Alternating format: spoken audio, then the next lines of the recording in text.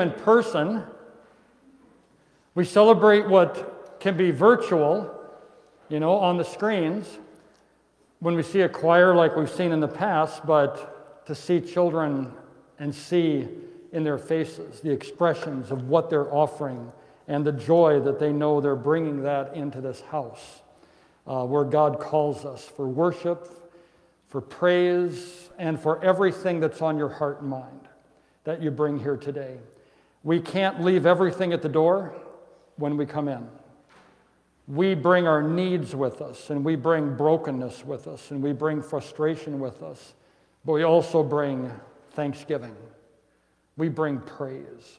We bring uplifted voices because God has done everything for us, and we praise Him for that. And in this time, I put this word on your heart to prepare you for the message today affliction.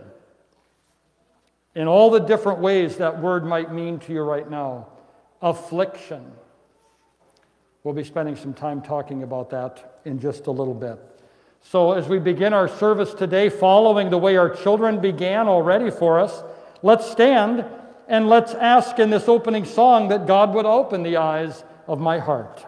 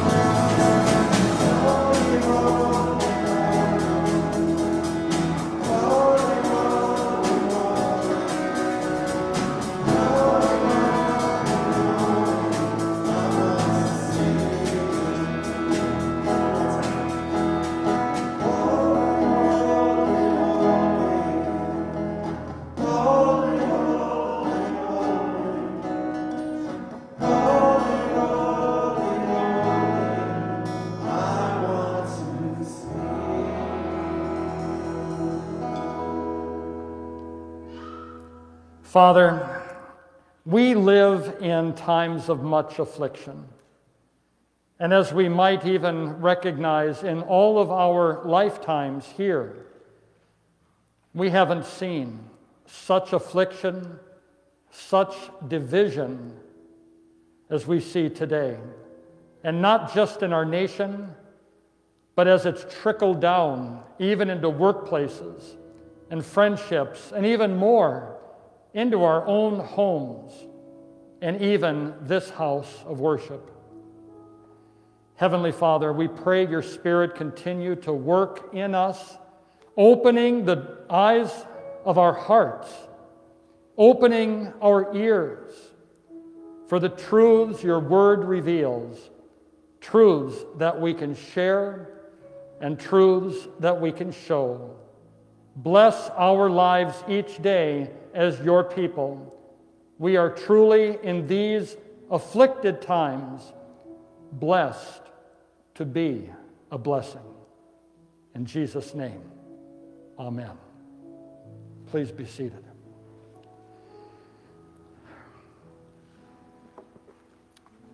We've thought about for a few minutes now how that word affliction is part of our day and the different things that come to us that overwhelm us, what we say, rather than just affliction as some kind of physical or mental kind of illness or disease, anything that wears us down, anything that works its way to turn us away from the joy that the Spirit plants in us.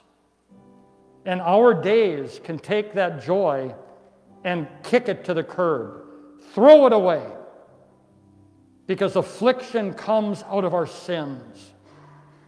And sin always wants to do its absolute worst in our life. It wants to rob you of joy. It wants to strip away peace and comfort. And even in times like this of much affliction, we still have so much more to be thankful for. And that's why we come together to support one another. We have so much more to say thank you, God, for, while we have so much to lift up in our prayers. Follow on the screen today these words from Paul's letter in 1 Thessalonians. And as I read it, hear how it has impacted your life, how you are showing this, these qualities. Make it personal, just as Scripture should always be made in our life. There's an introduction first. Paul, Silvanus, and Timothy to the church of the Thessalonians. In God the Father and the Lord Jesus Christ, grace to you and peace. We give thanks to God always for all of you, constantly mentioning you in our prayers, remembering before our God and Father your work of faith and labor of love and steadfastness of hope in our Lord Jesus Christ. For we know, brothers loved by God, that He has chosen you, because our gospel came to you not only in word, but also in the power and in the Holy Spirit and with full conviction. You know what kind of men we proved to be among you for your sake. And you became imitators of us and of the Lord, for you received the word in much affliction with the joy of the Holy Spirit, so that you became an example to all the believers in Macedonia and in Achaia. I want to read some of those words again because if we're hearing it differently, we are going to misunderstand what it's telling us. I'm going to read it in a way that might make you wonder is that what it's saying? You became imitators of us and of the Lord, for you received the word in much affliction with the joy of the Holy Spirit. Well, the way I read it that time makes it sound like it's the word that's causing the affliction. That's not the message of this verse. You received the word in much affliction. Into that affliction in your life, you received the word, the gospel. That word from God came in to your afflicted life. And the result was now you have the joy of the Spirit. And now you're an example to all of those around you. Into all of our afflictions comes the healing Word of God. In these times, we might, some of us might even have a little more difficult time knowing what to say to others. We share so much in common right now, but does that mean our Christian witness is in equal measure? Does it mean we're taking advantage of every opportunity to talk about the hope that we have, even we're sharing afflicted times? Look how much more we share through Christ. What we know about Him, what we believe about the triune God what the Bible has taught us, what it continues to reveal to us all of our life. Let's say those words that have always taught us from childhood on up what we, members of Christ's body, the church, believe and confess. We say together I believe in God, the Father Almighty, maker of heaven and earth and in Jesus Christ, his only Son, our Lord, who was conceived by the Holy Spirit, born of the Virgin Mary, suffered under Pontius Pilate, was crucified, died, and was buried. He descended into hell. The third day, he rose again from the dead. He ascended into heaven and sits at the right hand of God, the Father Almighty. From thence he will come to judge the living and the dead. I believe in the Holy Spirit, the holy Christian church, the communion of saints, the forgiveness of sins, the resurrection of the body, and the life everlasting. Amen. Remember the two words that you used to start that confession. I believe. With this confession, you're already equipped to share the reason for your hope. You can bring your life as the greater witness because right now we share so much, so much in common. So the song that comes, well, it doesn't show you've got to look a certain way, sound a certain way, be anybody that stands out. In fact, you look at the title of this next song. This is all God has ever expected and asked. Please rise. Join me in singing, Come as you are.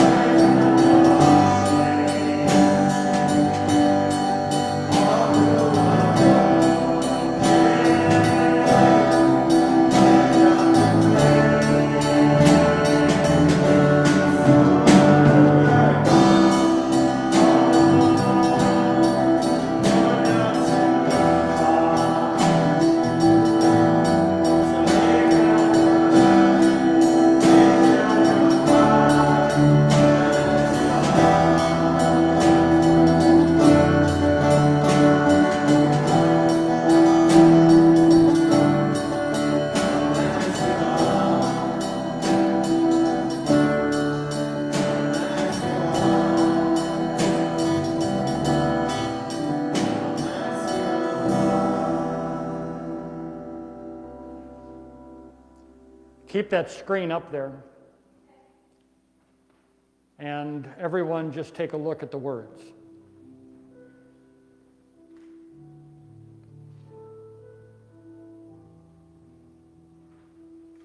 And as you see those words, think of how you are today. What you didn't leave at the door because you just can't cast it off. But what you bring into this house, because this is where God's healing is offered in word and sacrament. How have you come today? Please be seated. You got a little extra number of pieces of paper in the handout for today, but I ask you to take out the not just an outline, it's really just an apologetics kind of uh, help for you this week, especially as we think of a sermon and a message that is titled Healing for Deep Affliction.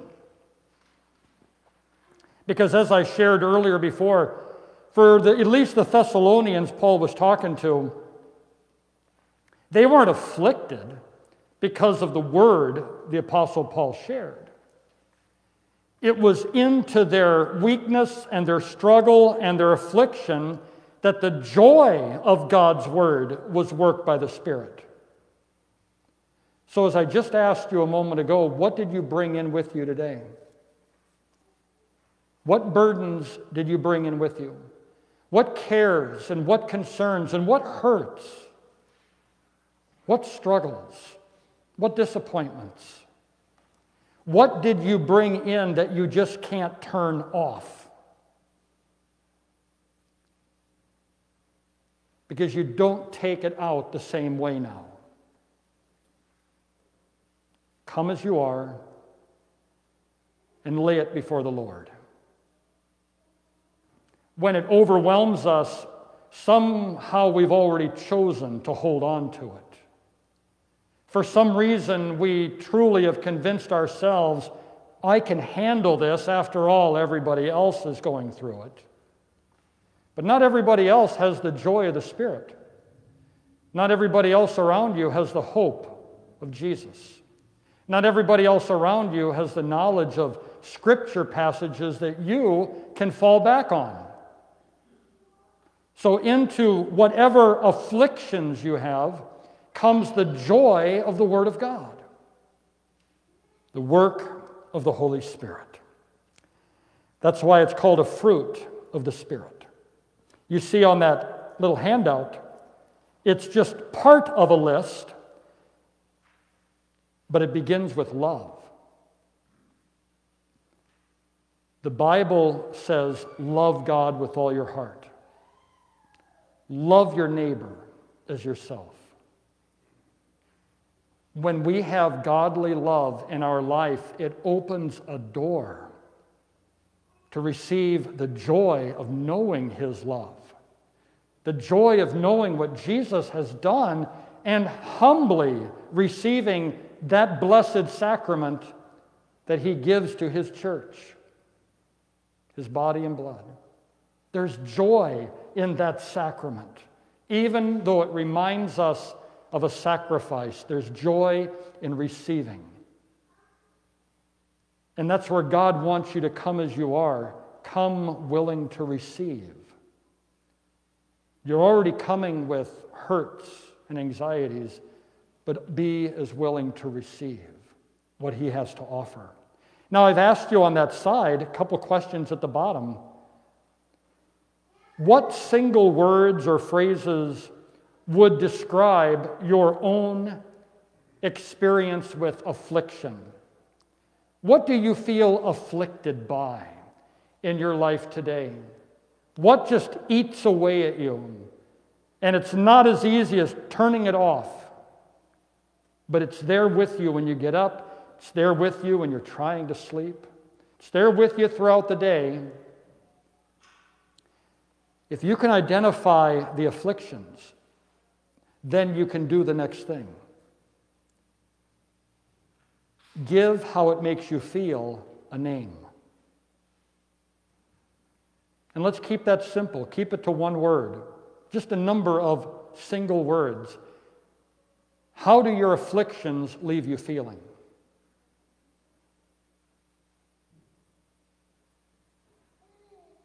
Not, it's not silence waiting for responses. Honestly, think of the words that describe exactly how afflictions that come to you make you feel, leave you feeling. They're there at the end of the day, and it seems they're right there in the morning, ready for you.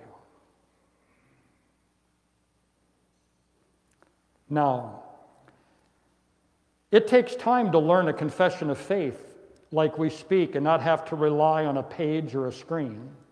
But sometimes we do need to rely on a page or a screen. But what scriptures have come into your life from being raised at home,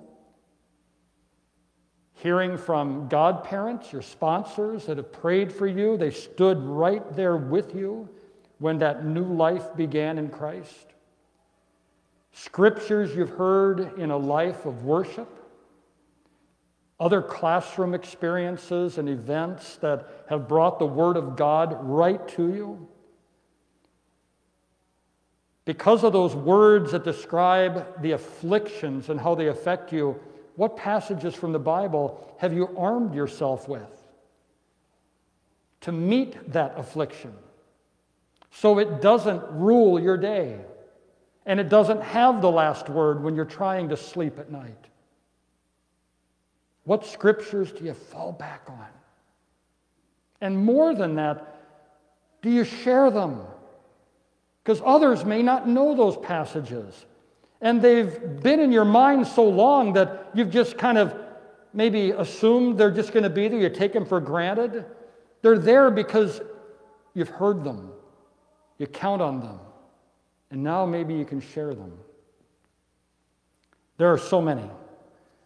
But on your sheet, if you turn it over, I wanted to provide a starting place. Sometime today, and I hope before you go to bed tonight, sometime today, with all of these passages on this side of the Bible, on this side of the insert, underline all the words and phrases that bring you hope and joy when you're afflicted when you're just filled with everything that's going on. Pick those verses, add them to this sheet, and then underline words and phrases that absolutely bring hope and joy. Read with me that first passage up to the second set of those three dots, those periods of ellipsis. We are afflicted in every way, but not crushed perplexed, but not driven to despair, persecuted, but not forsaken, struck down, but not destroyed, so we do not lose heart. Because if all you know is feeling crushed, I'm sorry, afflicted, perplexed, persecuted, struck down, then you will lose heart. You will lose the ambition and the drive for the day. It only wears you down. These things cannot build you up ever, they only tear down. Don't lose heart if these phrases and words remind you of affliction. Read it with me again. We are afflicted in every way, but not crushed, perplexed, but not driven to despair, persecuted, but not forsaken, struck down, but not destroyed. So we do not lose heart. Joy comes into that moment of affliction because God knows it's when you're burdened, when you're afflicted, when you're perplexed, when you're persecuted, when you're struck down, He's there. And He's bringing you His promise. He's there with you to lift you up. Some of the favorite Psalms of many Christians, and that's why I've listed four of them, Read Psalm 18, verse 1 with me. I love you, O Lord, my strength. The Lord is my rock and my fortress and my deliverer, my God, my rock, in whom I take refuge, my shield and the horn of my salvation, my stronghold. That whole verse might be underlined later today. I love you, O Lord, because you're my strength. So we all know what weakness feels like emotional weakness, physical weakness, mental weakness, all sorts of weakness. We all know what that feels like. And God knows that that wears us down. But the psalmist says, I love you because you're my strength. Maybe there's been some quick fixes in the world when we've been beaten down, and something picked us up momentarily. But as, we'll, as we saw at the end of that verse right above it from 2 Corinthians, the things you see are transient. They're here and they're gone. What lasts are the things that are eternal, sometimes what are unseen. And these are the gifts of God we celebrate because they don't go away with the setting of the sun. They're there for you the next morning to hold on to. He's your rock, your refuge, your shield. I can't imagine most of us not underlining the whole verse. Psalm 23, we all know so well. Again, it's because we've said it so many times. It's there in our minds. We can fall back on it without any effort. But just read the first sentence with me The Lord is my shepherd, I shall not want and just stop right there. Because the Lord God is my shepherd and he sent the good shepherd that I can follow him, I'm not going to be in want. But we'll feel like we're in want when we're not recognizing he's given us everything we need. Everything. From the gift of baptism and the outpouring of the Holy Spirit to the faith that is in us and the word sometimes to share it to the sacrament that also assures us of forgiveness and through forgiveness, eternal life. These things aren't transient. They're how God brings us closer to Him and defines a relationship. The Lord's my shepherd, so I will not want.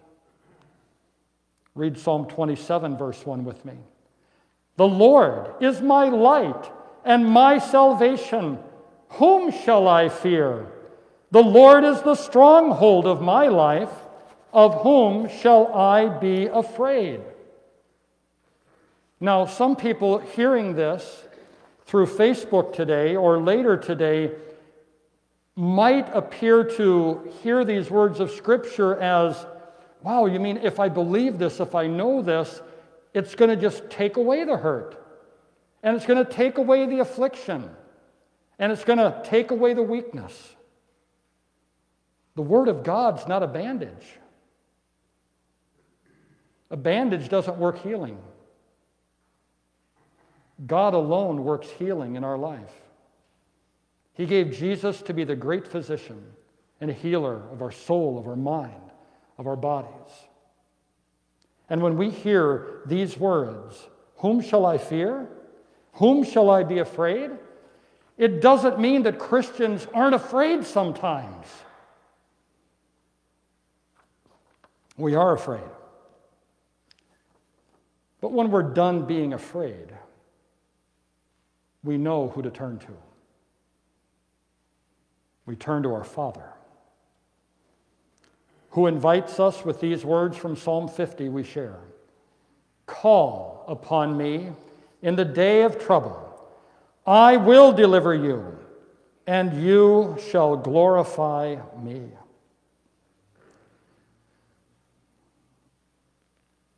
There is one thing that unites us as a nation today division. Sounds like an oxymoron, I guess. The one thing that seems to unite us as a nation is our continuing divisions. Think of all the things that have warred against unity in just this year. Everything that of this sinful world has tried to pull us down and weigh us down and take away hope and take away joy. The things you've heard, the things you've seen, and it just keeps hammering on you. It's almost like that young child who's just learning to swim for the first time and they forgot what the lifeguard said you should take with you into the water. And the child's gasping for air because they're just sinking. In this storm tossed sea we call life, who's your anchor? Who is able to hold you in place and then pick you up? Only our shepherd. Because everything of the world is temporary, it's transient. What God provides is eternal. That's why we turn to Him. He calls us, invites us. I'll deliver you. But as some, one of the members of my confirmation class this morning reminded me, sometimes there are people out there that they're only looking for that answer. And if they don't get that answer, then God hasn't answered their prayer. Or if God answered it in a way that was not what they asked, then they're going to be upset with God because He didn't give them exactly what they asked for. And that's a challenge with prayers. When you pray to God for something specific, don't be blinded that that has to be the only answer He provides. You're lifting it up to Him to say, This is what I'm lifting off my heart and off my soul, but I've got to trust that whatever your decision is, there's a long term plan that I will understand. So that's why so many times some of the best Christian conversations you can have it's with somebody who is far older than you are. They can look at a lifetime you haven't even lived that number of years yet. And they can tell you how it takes looking at the whole to see how God has worked in every circumstance. And it even took you longer to figure out what his answer was supposed to be. And you discovered it. And there's joy in that moment because you realized once again God was watching over and God was protecting. And look what I can see looking back on his care. Some people can experience that earlier in life. But look back. When you're feeling burdened, look back and look how God has worked the joy of the Spirit and His comfort into those moments so far behind you you don't even think of them anymore. And that'll be the strength for the next day, the next affliction. Our country needs our prayers. Our country, more than at any time in its history, needs Christians to do what only Christians do and do well. Our country needs Christians lifting up prayer after prayer after prayer. That at this point we're unified in divisions. We're used to it, we accept it. But that's not what the plan of Christ is for his church. One Lord, one faith, one baptism, one God and Father of all. That's God's plan for Christ Church. And we're in it right now. So let's lift up the needs of this world and our lives and our afflictions in a closing prayer. Holy Spirit, inject an even greater measure of joy into our heart and life. It's far too easy to make choices that overwhelm us. It's far too easy to make choices that burden us. That's all around us every day. And it will never change on this side of heaven. But give us the eyes and the heart and the mind that seek after and learn the promises contained in the Bible and be armed with that knowledge to take the Christian fight into the next day and to have a reason for the hope we have to share with someone who's struggling right now. We are struggling as a nation. In our lifetime, we've never seen such division. But the Christian church has also been never so silent. Let us rise up for you with the strength of your Spirit and lift up more prayers than we've ever offered, and also be the example in all things godly to bring others to the knowledge of the hope we have in Jesus. In his precious name we pray. Amen.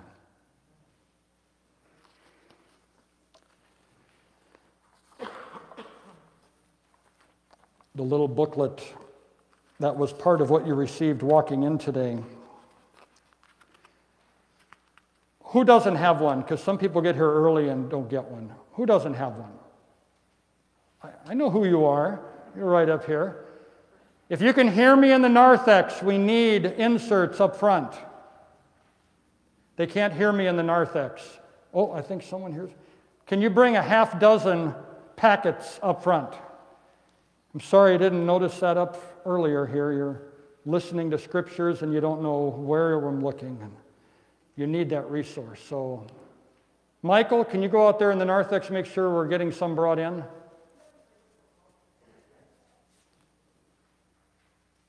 And make sure you have these booklets because we're going to be participating in some beautiful music, sharing prayers. And we're going to wait just a moment. So if you want to just play through our first hymn and we'll just kind of let that be our introduction.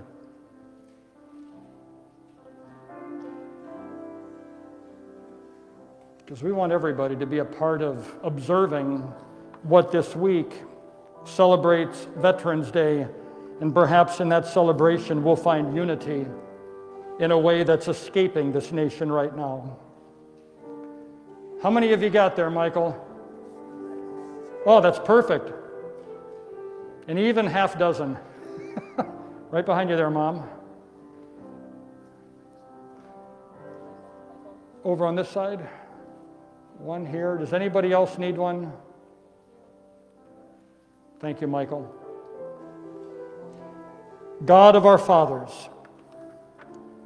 please stand and let's join in this opening hymn in a Christian observance of Veterans Day. God of our fathers, whose almighty hand leads forth in beauty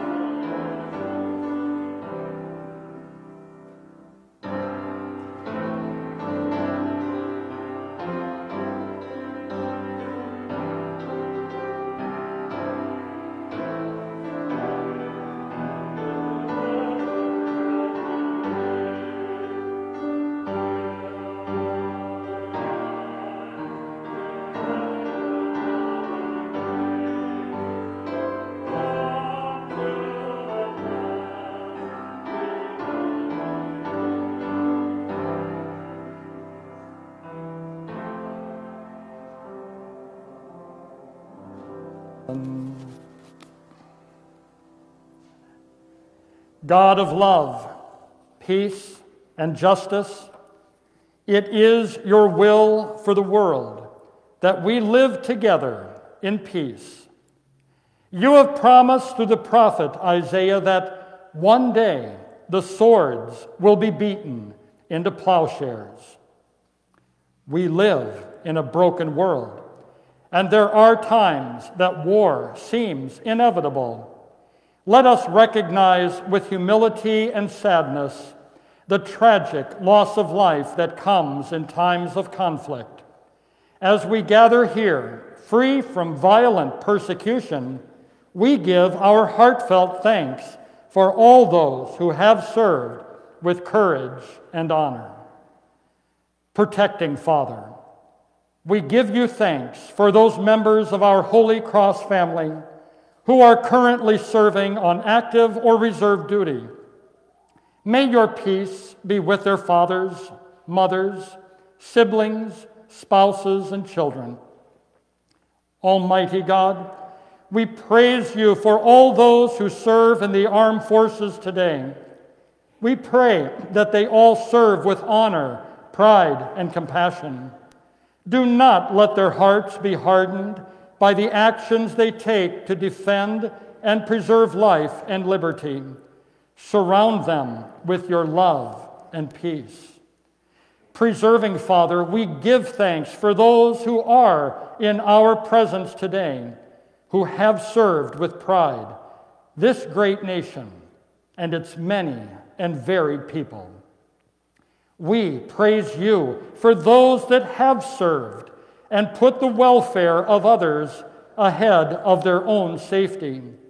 May we all be inspired by their self sacrifice to serve all those in need and live our lives in acts of loving service.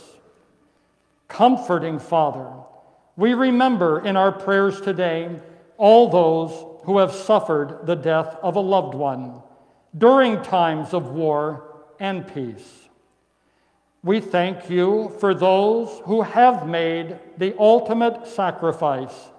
We ask your extra comfort for those who still feel the pain of their loss. Keep us mindful and strengthened by your promise to comfort all who mourn with the hope that is ours in Jesus. Providing, Father, we praise you for guiding us through leaders of the past those who penned with words the very freedoms we continue to celebrate, the freedoms that still guide our lives today. Let each of us honor all who have sacrificed for the peace we seek and enjoy. Let us never forget those who have served, and let us never forget your provision and promise of peace for those who serve today in Jesus' name. Amen. Please be seated for this short video segment that reminds us in our offering envelope box this month is an additional envelope for Faith Comes by Hearing. The opportunities we've used in the past to provide a digital platform for Holy Scripture that those who are serving our nation today can listen to wherever they're deployed and be strengthened to also share the hope that they have. So please watch and listen and respond to these words. Your church and churches like yours all over America have made it possible to send hundreds of thousands of military Bible sticks to U.S. servicemen and women. You have made a difference to be able to just to have some headphones and something that could fit in your pocket and be able to plug it in and listen to uh, the scriptures, it was something that was uh, very fulfilling. Distributing, you know, the audio Bible to uh, men and women that are in the service is absolutely crucial. You know, in my own experience while I was overseas, this was the only uh, word that I got. You, you don't always have time to be able to open up, you know, the Bible and go through the pages. Not so much, not the time, but you, you're just not in a place meeting a real need for our troops. That's why your continued support of the Military Bible Stick Project is so crucial. Your family can support one Bible stick for one service member and their family for just $25. A small gift that makes a big difference, getting the Bible to the battlefield. out there in the field, uh, you don't always have church. In fact, where I was at, I, I didn't have a church where I could go to. It's small, it could fit into your pocket or a piece of your gear. It's great when you get those moments to just kind of get away from everybody else. You need to get the scripture in you every day if, if you're going to really serve honorably and, and life givingly in the military with today's stresses. The audio Bible, along with reading the Bible, it's perfect combinations to be able to really serve well and faithfully in all the activities that happen. And, and not only in my own life, but I've seen so many other members that that was the key to staying in the scripture while the, while the tempo was so high. Hi, my name is Morgan Jackson, and I'm the director of Faith Comes by Hearing. And I have to tell you, I am so excited and thankful. Your church and other churches like you have been creating a movement among our military and supporting our chaplains in a way that's just unbelievable.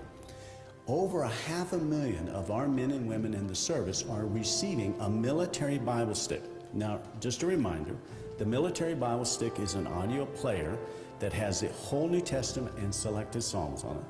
Now, we don't want to leave out the family, so in the box, there is a request form. So this, they can request an audio Bible for their spouse or child, and we'll send them a kid's Bible or the New Testament for their spouse to listen to. We are having more requests than we can fulfill, which I'm happy about because that means there's a hunger in our military. This year alone, over 150,000 audio New Testaments, military Bible sticks will go out to over 1,400 chaplains. Now, they're asking us, so I'm going to ask you, can you help by providing each family one, which is $25 for a military service member? If your church could take it on a challenge of taking on a company, which is 100, that's $2,500. That would go a huge way to fulfilling the needs of the chaplains as they're requesting. I want to express their thanks. The chaplains just have story after story about how military men and women are coming to Christ, being encouraged, having comfort in times of extreme stress, and you're providing that. Thank you, and may the Lord richly bless you.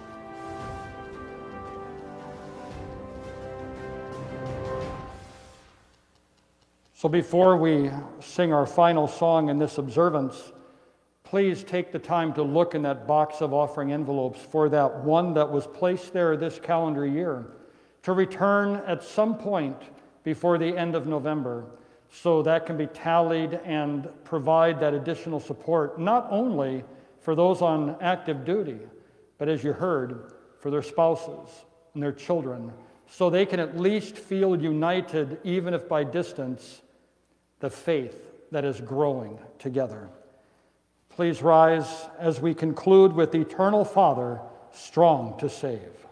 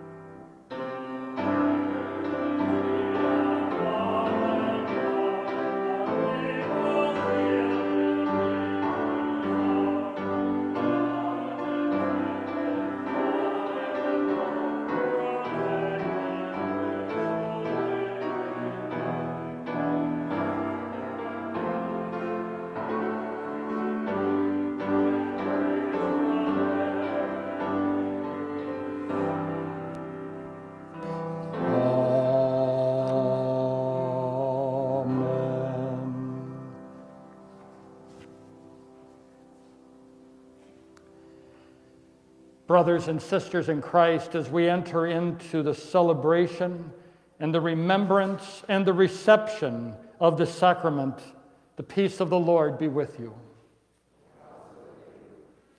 Our Lord Jesus Christ, on the night when he was betrayed, took bread.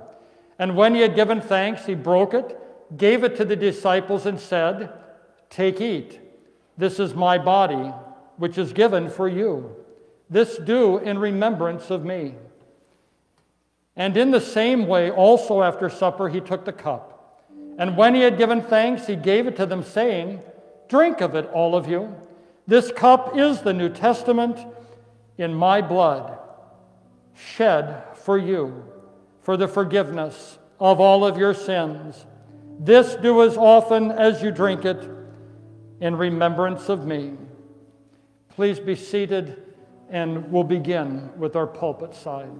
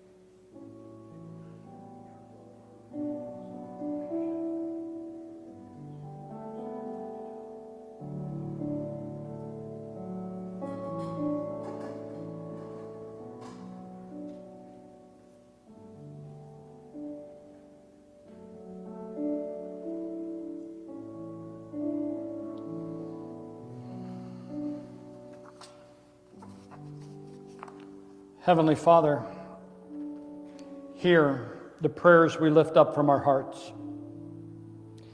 You're the creator of the heavens and the earth. You know the times we live in, and you're providing for our every moment. You are the helper and the defender of the weak, and you meet all of our needs in times of affliction and suffering. You know the weaknesses we struggle with, and you hear our every prayer. Protect and deliver us in these times, not only from illness, but also the needs of our nation. Watch over us, protect and lead us. Especially grant your healing to those who are ill, not only with this virus, but also all who are in need of healing and recovery. Hear first the names of those we lift up in Christian love from our hearts.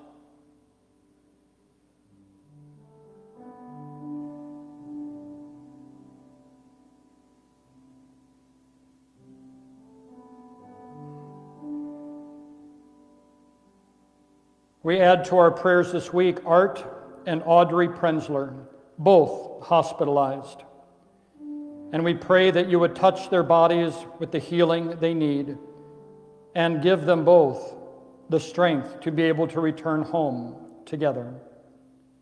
Continue to grant that same care and recovery to Randy Dexter and also Judy Smith, and all for whom we have prayed this day. Also, grant relief from those who suffer each day in pain, and an increase of comfort and of strength in the face of the grief of the passing of a loved one. Heavenly Father, we absolutely confess our national needs to you today. This nation needs your mercy and grace. This nation needs the restoration of hope.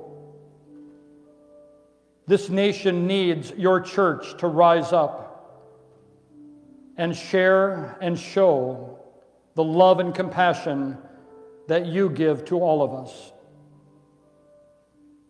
Forgive us when we depend on ourselves far too often rather than turn to you. Forgive us for looking in every direction for help except above. Forgive us when we forget how much we need you. We come to you in our hearts. We bring our cares and our afflictions and our hurts. For only you can see where no one else can. Only you can understand when no one else does. You know the weight and pain that came with the cross of Jesus, so you know our burdens and our cares. You know we need to be delivered from them. And you know that this nation needs the work of the Spirit even more. So we finally pray that your Holy Spirit would touch the lives of all sinners who do not call upon the name of Jesus, those who work in every way except for unity. Humble them all and humble our nation.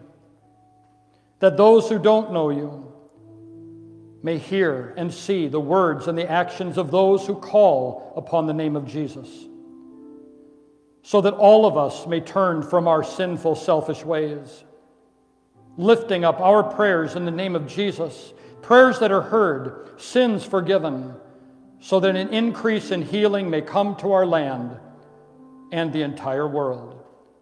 In the name of Jesus Christ, your Son, our Lord, who taught us to pray together. Our Father, who art in heaven, hallowed be thy name. Thy kingdom come, thy will be done, on earth as it is in heaven. Give us this day our daily bread, and forgive us our trespasses, as we forgive those who trespass against us. And lead us not into temptation, but deliver us from evil. For thine is the kingdom, and the power, and the glory forever and ever. Amen. The Lord bless us. The Lord keep us. The Lord make his face to shine upon us and be gracious to us. The Lord look upon us with his favor. And in the name of our Savior and Shepherd Jesus, give us peace. Amen. Please rise for our closing song of praise.